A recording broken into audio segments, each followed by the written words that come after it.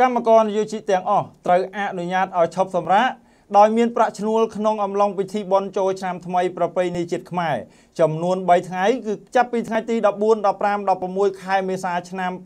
2022ព័ត៌មាននេះឧបត្ថម្ភដោយ Fresh ទឹកសណ្តែកប្រាសណ្តែកច្រើនជាងគេ ទឹកសណ្តែកខាត់ជាងគេជំរឿយកតែសណ្តែកលេខ1ក្រសួងការងារនិងបណ្ដុះបណ្ដាលវិជ្ជាជីវៈសូមជូនដំណឹងដល់ម្ចាស់ឬនាយករោងចក្រសហគ្រាសទាំងអស់ដែលស្ថិតក្នុងដែនអនុវត្តនៃច្បាប់ស្តីពីការងារឲ្យបានជ្រាបថាយោងតាមច្បាប់ស្តីពីការងារនិងប្រកាសលេខ277/21ចុះថ្ងៃទី27ខែតុលាឆ្នាំ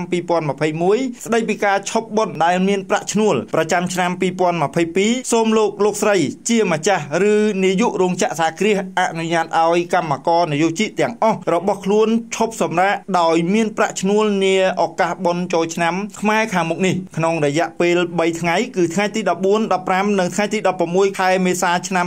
2022ចំពោះរោងចក្រសហគ្រាសទាំងឡាយណាដែលកម្មវត្ថុអាជីវកម្មមានចរិតលក្ខណៈសកលត្រូវប្រព្រឹត្តទៅជាប្រចាំនិងមិនអាចបញ្ឈប់សកម្មភាពបាន ហើយការឈប់សម្រាកបុណ្យនៃកម្មករនយោជិតទាំងអស់ព្រមគ្នាក្នុងពេលតែមួយនាំឲ្យខូចប្រយោជន៍ដល់សាធារណជនឬក៏ធ្វើឲ្យខូចដំណើរការរបស់រោងចក្រសហគ្រាសនោះម្ចាស់ឬនាយករោងចក្រសហគ្រាសត្រូវរៀបចំបែងចែកឲ្យកម្មករនយោជិបានឈប់សម្រាកទៅតាមថ្ងៃបុណ្យនីមួយៗដោយផ្លាស់ប្ដូរវេនគ្នា កម្មករនយោជិដែលធ្វើការថ្ងៃឈប់បុណ្យចូលឆ្នាំខ្មែរនេះមានសិទ្ធិទទួលនៅប្រាក់បំណាច់បន្ថែម ដែលមានចំនួនស្មើនឹងប្រាក់ឈ្នួលថ្ងៃធ្វើការធម្មតាម្ចាស់ឬនាយករោងចក្រសហគ្រាសត្រូវរៀបចំបញ្ជីឈ្មោះកម្មករនយោជិដែលត្រូវផ្លាស់ប្ដូរគ្នាឈប់សម្រាកតាមកាលបរិច្ឆេទនីមួយៗខាងលើនឹងរក្សាទុកជាប្រចាំសម្រាប់ការត្រួតពិនិត្យរបស់អធិការការងារក្នុងករណីមានការព្រមព្រៀងគ្នារវាងកម្មករនយោជិស្វាមី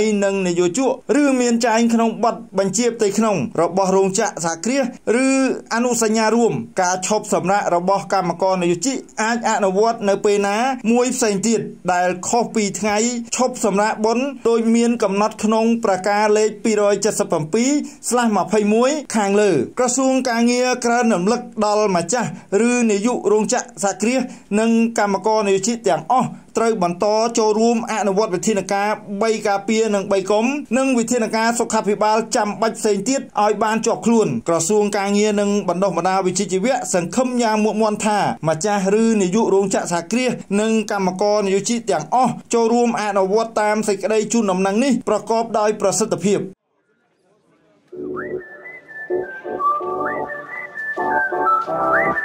Thank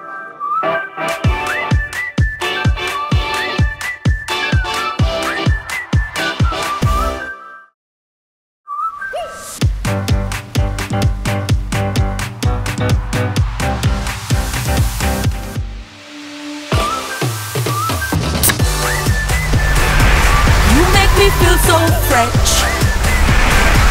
You make me feel so cool. You make me feel so fresh, freshy. ទឹកប្រឡាយ Freshy ឆ្ងាញ់ស្រស់ស្រាយត្រជាក់ចិត្ត